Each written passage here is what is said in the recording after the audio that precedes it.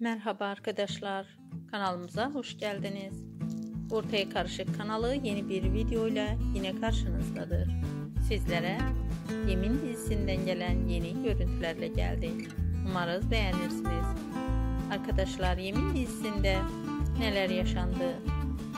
Emir bebeğine karşı yumuşamaya başladı. Ve bebeğini kucağına aldı arkadaşlar.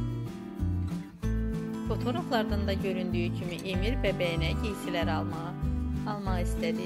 Bakalım Emir və Fəridə arasında yaşananlar nasıl bir etki verəcəkdir? Emri bəbəyinə yaxınlaşmağa davam edəcəkmi?